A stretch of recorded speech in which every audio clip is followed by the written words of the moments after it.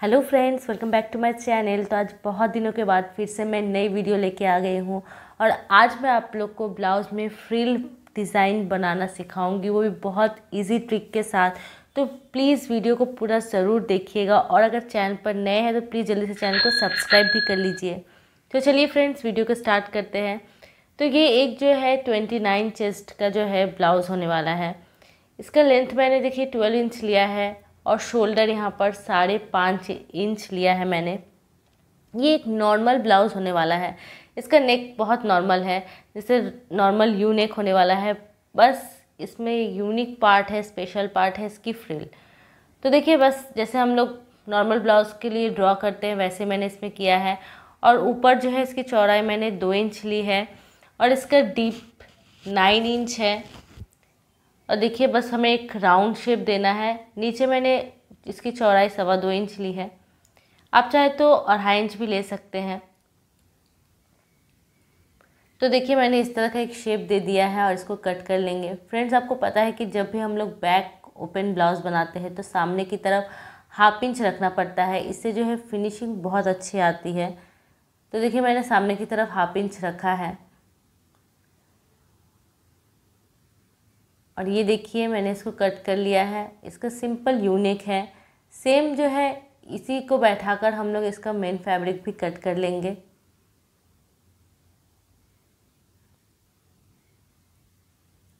Friends इससे पहले भी मैंने बहुत सारे ब्लाउज़ डिज़ाइंस की वीडियोस अपलोड की है। किस तरह डिज़ाइनर ब्लाउज़ बनाना है बोटनेक ब्लाउजेज तो अगर आप लोगों ने वो वीडियो नहीं देखा है तो अभी आई बटन पे क्लिक करके देख सकते हैं। तो चलिए फ्रेंड्स की स्टिचिंग दिखाती हूँ। तो सबसे पहले दोनों पार्ट को हमें अलग अलग कर लेना है। और जो है, इसके अस्तर के ऊपर हमें इसका मेन फैब्रिक रख कर इसके चारों तरफ़ को जो है स्टिच लगा लेना है, ताकि ये पूरी तरह से जो है सेट हो जाए कपड़े के साथ। तो देखिए, मैं चारों तरफ़ से इसको स्टिच कर ले रही हूँ।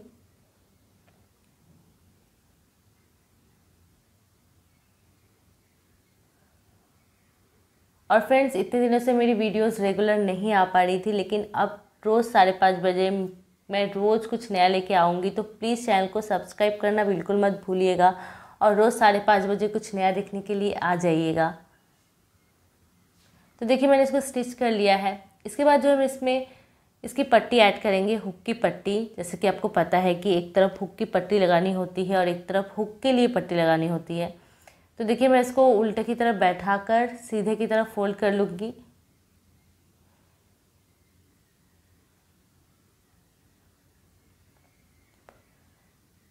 देखिए कुछ इस तरह से हमें इस पर डबल स्टिच लगा लेना है ताकि पूरी तरह से सेट रहे।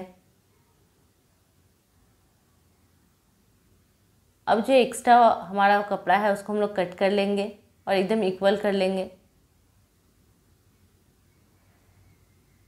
इसके बाद जो फ्रेंड्स का मेन पार्ट है, इसकी फ्रिल उसको हम लोग बनाएँगे। तो देखिए मैंने मेन फैब्रिक ले लिया है। अब हम लोग इसमें जो है तीन इंच चौड़ा रखेंगे। देखिए आप चाहे तो इससे थोड़ा बड़ा भी रख सकते हैं। लेकिन ये साइज़ एकदम परफेक्ट साइज़ होने वाला है। तो देखिए, मैंने तीन इंच चौड़ा ले लिया है कपड़ा और इसका जो लेंथ है, वो आप अपने अकॉर्डिंग रख सकते हैं। जितने भी आपको जो है गैप में फ्रिल बनानी हो।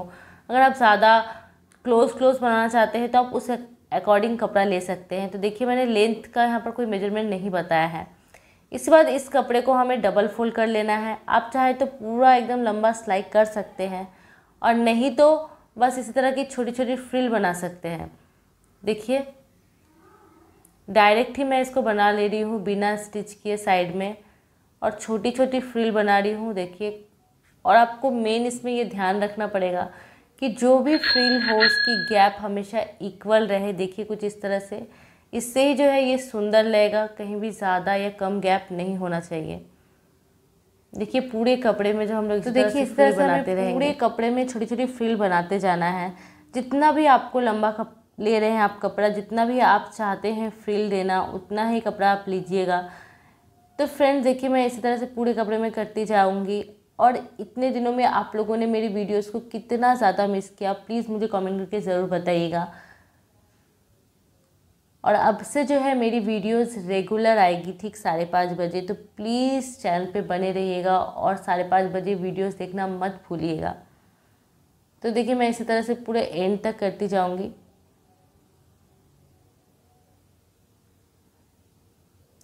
देखिए, मैंने पूरा जो है फ्रिल बना लिया है। अब इसको हम लोग अपने ब्लाउज़ के नेक पे सेट करेंगे। तो ये फ्रिल बनाने के बाद आप किसी भी नेक पे इसको इजीली सेट कर सकते हैं। तो ये हमारा यू नेक है, सिंपल सा। तो बस हम इसके जो है, इस तरह से इसको सेट करके साइड साइड में स्टिच लगाते जाएँगे। जैसा कि हम नॉर्मली हाफ़ इंच का सिलाई लगाते हैं, सेम वैसे ही हमें इसमें लगाना है। और ये देख के बहुत ज़्यादा जो है हार्ड लगता है, लेकिन जो प्रोसेस मैंने आज बताया है, आप लोग अगर इससे करते हैं तो ये बहुत आसान हो जाएगा और साथ ही फिनिशिंग भी बहुत अच्छी आएगी। तो देखिए, जितना भी हमारा नेक है, हमें उतना तक रखना है। इसके बाद एक्स्ट्रा पार्ट को कट कर लेना है। इसके बाद इसमें अच्छी फिनिशिंग देने के लिए हमें इसमें जो है, इसे नेक पर पट्टी लगानी है। तो इसके लिए भी मैंने इसका मेन फैब्रिक ही लिया है और इसको तिरछा पट्टी में कट किया है। क्योंकि मैंने पहले भी बताया है कि तेरछा पट्टी से जो है पाइपिंग बहुत अच्छी आती है, राउंड नेक के लिए। तो देखिए, अब जो है इस पट्टी को हम उल्टे साइड में बैठाएँगे, यानी जिस साइड में हम लोगों ने फ्रिल बनाया है, ठीक उसके उल्टे साइड में। तो देखिए, इस तरह से हाफ़ इंच का सिलाई लगाते जाएँगे, क्योंकि हम लोग इससे एक पाइपिंग देंगे, चौड़ा पाइपिंग जो होता है। इससे पहले भी मैंने अपने वीडियोस में चौड़ा पाइपिंग और एकदम पतला पाइपिंग दोनों ही बताया है। तो अगर आप लोगों ने वो वाली वीडियोस भी नहीं देखी है तो जल्दी से चैनल को सब्सक्राइब करके वो सारी वीडियोस जाकर देख सकते हैं। तो फ्रेंड्स यहाँ पर देखिए फ्रिल थोड़ी ज़्यादा हो गई है तो इससे उतनी अच्छी फिनिशिंग नहीं आ रही है, इसलिए मैंने थोड़ा सा यहाँ पर देखिए, इसको हम लोग थोड़ा सा निकाल लेंगे। आगे की तरफ़ से देखिए, मैंने थोड़ा सा हटा दिया है। अब जो हम फैब्रिक हमारा फैब्रिक है, पट्टी जो है, उसको हम लोग इस तरह से फोल्ड करेंगे। तो जो ज़्यादा एक्स्ट्रा अगर हो तो आप उसको कट करके निकाल सकते हैं कुछ इस तरह से। और इसको जो है, सामने की तरफ़ हमें इसको फोल्ड करना है। देखिए, मैं इस तरह से फोल्ड कर रही हूँ डबल फोल्ड और एकदम इसके साइड साइड में हमें सिलाई लगाते जाना है, जिससे जो है हमें इसके नेक पे कोई भी हेम सिलाई करने की ज़रूरत नहीं पड़ेगी और इससे फिनिशिंग भी बहुत अच्छी आएगी। देखिए, कुछ इस तरह से हम पूरे नेक पे जो है पट्टी को सेट करते हुए जाएँगे। आप चाहे तो सेम पट्टी यूज़ ना करके कोई और भी कर सकते हैं ताकि और भी ज़्यादा सुंदर लगे। और ये एक पाइपिंग का काम भी करता है।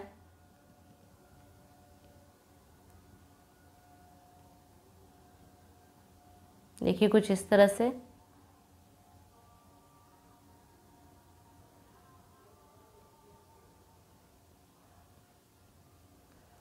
तो देखिए, मैंने पूरे नेक पे जो है पाइपिंग को सेट कर लिया है। और ये कितना सुंदर लग रहा है, आप देख सकते हैं।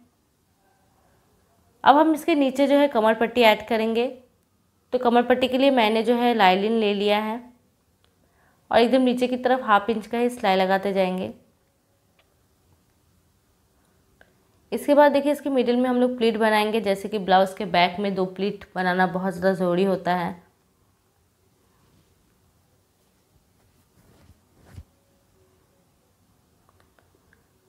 और इसके बाद एक चाप सिलाई लगा लेंगे और बाद में हम इस पट्टी को जो है अंदर की तरफ़ फोल्ड करके हेम सिलाई कर लेंगे, ताकि इसकी फिनिशिंग बहुत अच्छी आए।